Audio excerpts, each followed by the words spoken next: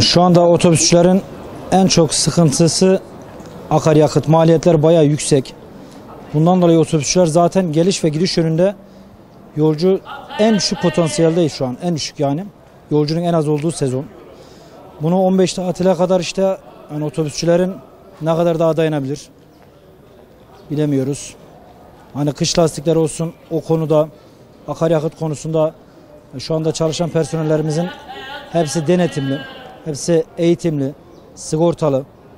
Ya bunlar da bize ayrı bir maliyet. Biz sigortasız çalıştırmıyoruz. Devletimizden bize bu otobüsçüler konusunda biraz daha hani akaryakıt yönünde biraz daha destek. En azından girdilerimizi biraz daha düşük tutarsak biz de bunu yolcumuza yansıtmayız. Yolcumuz da müşterimiz de yani bu konudan rahatsız.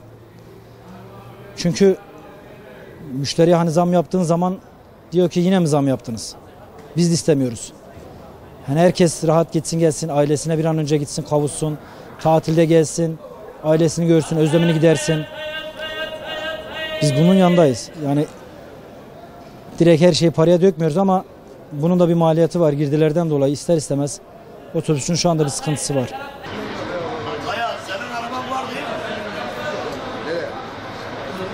Vallahi bu konuda ne düşünüyoruz? Bu konuda işte yani bu taşımacıya ağır olmaya başladı artık yani akaryakıt fiyatları. 6700 lira şu an akaryakıt. Bayağı da fiyatı yükseldi. Taşımacı şu an zarar ediyor yani. Bugün bir İstanbul'un 6-7 bin lira masrafı var. 6-7 bin lira masraf oldu mu kurtarmıyor yani. Bu araba şimdi e, diyelim ki İstanbul'a 20 kişiden geçse, 20 kişiden gelse zarar edecek. Şu anda zaten yolcu da yok. Sezon bitti. Yolcu azaldı. Uçak fiyatları Nur şu an şey 170 lira. Hemen hemen otobüs zaten aynı yani.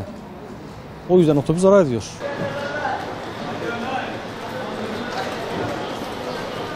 Akaryakıt fiyatları çok yüksek abi. Yüksek olduğu için yani maliyet pahalı olduğu için biz de para kazanamıyoruz yani. Ee, yani şirket sahibi para kazanamadığı için bize de biz de sıkıntılara düşüyoruz.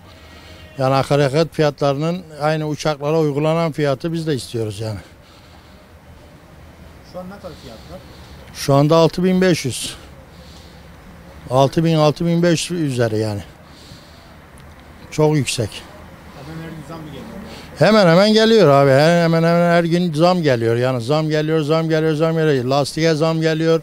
Yani tamircisine zam geliyor. Her parçaya zam geliyor. Mazota zam geliyor. Her şeye geliyor. Ama biz para kazanamıyoruz. Otobanlar öylesine İstanbul mesela 3. köprüyü mecburi koştular. Bize bir buçuk saat yolumuzu uzattı. Bir buçuk saat yolumuzu uzattı demek 40-50 litre fazla mazot yakmamız demektir yani. Otobüsle taksinin mesela ne farkı var? Mesela Yavuz Sultan şeyden geçmesi için ikinci köprüden geçmesi için bir sıkıntı yoktur. Ama bizi üçüncü köprüye mecbur ettiler yani. Hem otoban fiyatı yüksek. Köprü ücreti giderken mesela 67-68 milyon veriyoruz. Gelirken 89-90 milyon veriyoruz. Ayrıyeten bunun haricinde de 40-50 litre fazla mazot yakıyoruz. Yetkililerden abi mazot fiyatının düşürülmesini yani bu kadar zam olmasını istemiyoruz. Yani bu kadar zam zam zam nereye kadar? Bu millet zaten cebimizde bir şey kalmıyor yani. Araç gidiyor geliyor boşa zarar yani zarar. Yani biz araç yetkilisi şefi e, sahibi değiliz. Firmanın sahibi değiliz ama çalışan olarak da yani firma yetkilisi para kazanmalı, yüzü gülmeli ki bizim de yüzümüz gülmeli yani. İnan et benime geçen gün mesela Akçay'a gittim. Balıkesir Akçay'a 14 kişiyle gittim, 11 kişiyle geldim. Bunun kökü kar olsa ne yazar abi? Kökü zarar yani. Firma sahipleri gerçekten kökü zarar. Allah yardımcıları olsun. Bir çift lastik olmuş tanesi bir buçuk milyon abi.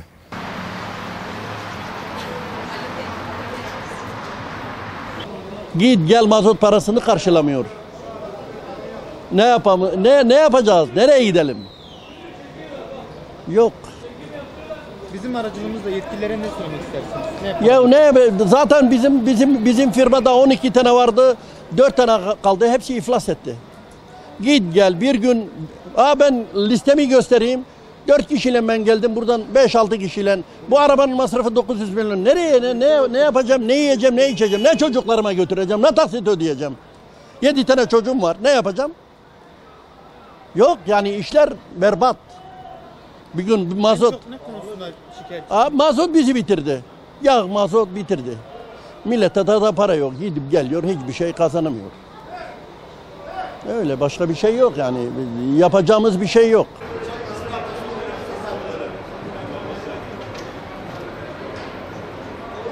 Akaryakıt fiyatlarını nasıl buluyorsunuz? Akaryakıt fiyatları çok yüksek günün şartlarına göre. Para kazanmıyor otobüsler. Boş gidip geliyor. Her şey vergi. Para kazanamıyor yani şu an. Lastikler çok pahalı. Peki buradan bizim aracımızla yetkililere ne söylemek istersiniz? Ne yapmalarını istersiniz? Ya aracın yetkilerini ne söyleyek? İşte bazı şeylere e, araçların imkanları sağlaması lazım. Başka ne yapabiliriz? Ne gibi işte fiyatları düşürecekler.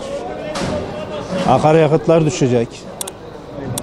Vergilerde biraz indirim yapacaklar.